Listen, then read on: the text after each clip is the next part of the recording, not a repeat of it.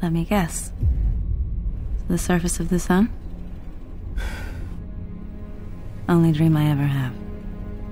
Every time I shut my eyes, it's always the same. Our sun is dying. Mankind faces extinction. Having left the Earth in a solar winter, the crew of the Icarus II is on a mission to reignite the sun. Although the premise is highly improbable, it does form an interesting reflection of the dynamic between the sun granting us life and we using that life to give meaning to the sun. At this distance of 36 million miles, you are observing the sun at 2% of full brightness. 2%? Unlike any other film, Sunshine gives us a visceral experience of our relation to this star. It introduces us to a power so overwhelmingly fierce, so unimaginably violent, that we cannot even stare directly at it despite being millions of miles away. Icarus, I'm gonna reset the filter to 3.1%.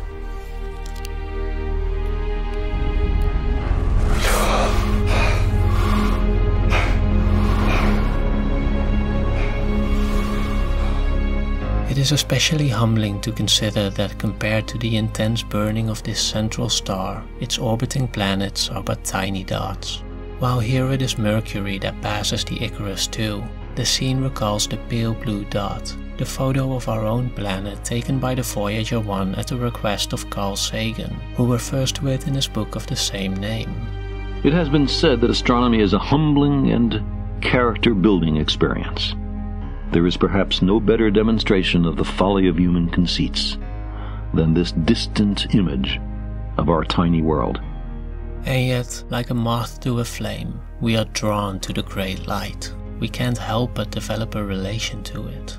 This becomes clearly evident on board of the Icarus II, where the astronauts, each in their own way, deal with the tininess of mankind and the grandeur of the sun in this great cosmic dark. These attitudes are expressed in the more rational, scientific acknowledgments of the sun as the primary source of life and as a necessity for our survival. We have a payload to deliver to the heart of our nearest star. We're delivering that payload because that star is dying, and if it dies, we die. Everything dies. So that is our mission. There is nothing, literally, nothing more important than completing our mission. But it also goes deeper than that, as ever since our humble beginnings, our relation to the sun has also been symbolic, spiritual even. There is a strange longing to connect to it, to become one with the light.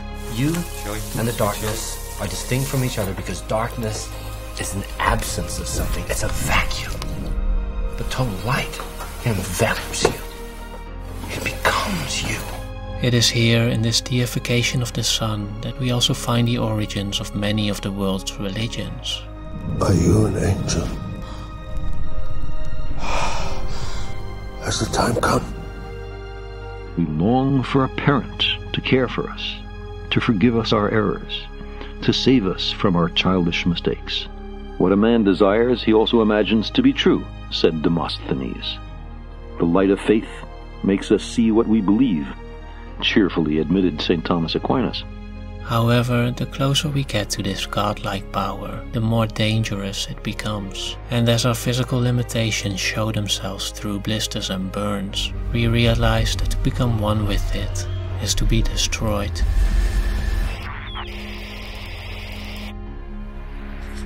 All our science,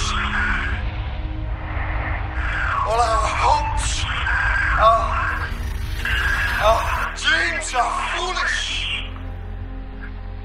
In the face of this, we are dust, nothing more. And to this dust, we will return. The implications of this fact become evident when a human error turns the astronaut's journey into a one-way trip. As it stands now, we do not have enough oxygen reserves to survive the return journey.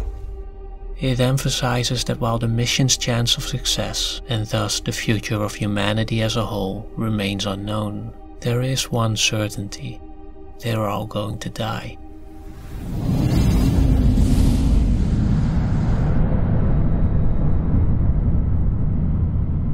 Of course, as mortal beings, the certainty of death was there all along, but it was still a rather abstract notion of mortality. It was not yet close enough to really be accepted as an undeniable reality. This impending doom, however, doesn't just relate to the fate of the individual, it also extends to the ultimate transience and insignificance of our existence as a whole. At the end of time, a moment will come when just one man remains. Then the moment will pass. The man will be gone. There will be nothing to show that we were ever here but stardust. What I find most interesting about Sunshine is how it not only presents the variety of attitudes towards our inescapable fate, but also explores the interplay between them, explores how different outlooks can lead to the same virtues and vices, to courage as well as cowardice, to both hope and despair. We see how a spiritual attitude can lead to religious fanaticism in which the destructive force of the sun becomes a pathway to heaven. For seven years I spoke with God. He told me to take us all to heaven. We see how the fear of a non believer can lead to a sense of self centered entitlement that overpowers the voice of reason. There is no choice. No, there's no choice for you. Capa, I order you to remove that suit. Get out of the suit! We see how both spirituality and atheism can lead to humility. Hey, Capa. We're only stardust. And inspire selfless acts of incredible bravery. Do it, Capa!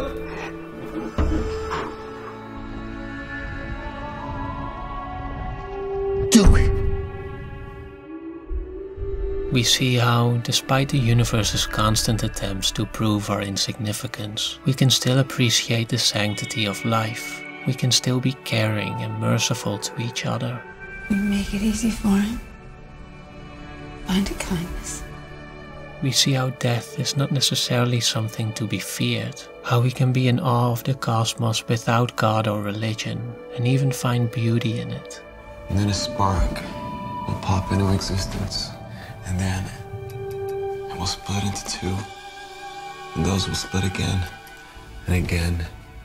And again. Detonation beyond all imagining. A big bang on a small scale. A new star born out of a dying one. No, I'm not scared. I think it'll be beautiful. Like all great sci fi films, Sunshine uses the spectacular to tell a distinctively human story. It shows how the infinite is captured in the finite, how the endless universe is reflected in fleeting constructions of meaning, competing and cooperating, longing for affirmation, longing for significance. It's a cosmic struggle on the smallest of scales, all taking place in the hearts of these strange creatures, existing for the briefest of moments on a pale blue dot. Consider again that dot. That's here. That's home. That's us. On it, everyone you love, everyone you know, everyone you ever heard of, every human being who ever was, lived out their lives. The aggregate of our joy and suffering, thousands of confident religions, ideologies, and economic doctrines, every hunter and forager, every hero and coward, every creator and destroyer of civilization, every king and peasant, every young couple in love, every mother and father, hopeful child, inventor and explorer, every saint and sinner in the history of our species lived there, on the mote of dust, suspended in a sunbeam.